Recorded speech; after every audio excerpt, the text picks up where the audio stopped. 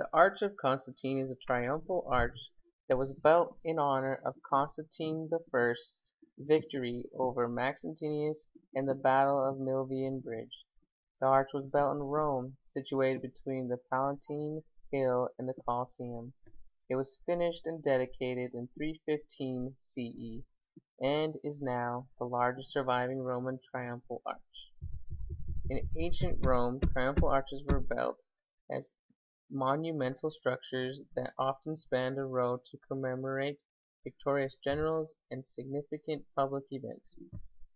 Triumphal arches were built with one or more arched passageways, crowned with a flat attic. The entire monument would be decorated with carvings, sculptures, and dedications. The Arch of Constantine's sculpture style is unique because it reused imperial reliefs from earlier monuments of the second century Roman emperors Trajan, Hadrian, and Marcus Aurelius. As we take a look at the arch from top to bottom, the attic holds the main inscription. Translated to English it states, To the Emperor Caesar Flavius Constantius, the greatest, pious, and blessed Augustus, because he, inspired by the divine, and by the greatness of his mind, has delivered the state from the tyrant and all of his followers at the same time. With his army and just force of arms, the Senate and people of Rome have dedicated this arch, decorated with triumphs. On the left and right of the dedication there is a pair of panels, eight in total, which were taken from a monument that was from Marcus Aurelius. Each panel shows a different scene where the emperor is returning home to Rome, distributing money to his people, punishing a prisoner, and speaking to his army. The main section of the Arch of Constantine is decorated with a round with round reliefs taken from a Hadrian monument, showing hunting and sacrificing scenes, where the original Hadrian head has been recarved to look like Constantine. The main piece holds a frieze that wasn't taken from an older monument that was created to show the story of Constantine's battle with Maxentius, which was the reason for constructing the Arch of Constantine.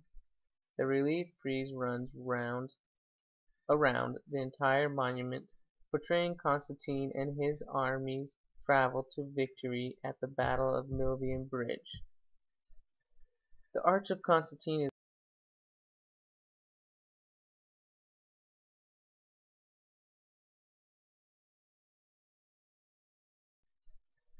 The Arch of Constantine is both typical and innovative of its time. It is typical of its time because triumphal arches are one of the most distinctive types of arch architecture that date back to ancient Rome.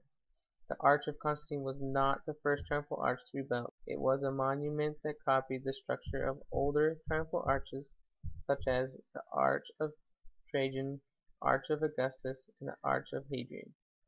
However, the Arch of Constantine is also innovative of its time because Constantine had reliefs taken from older monuments and incorporated them into his archway.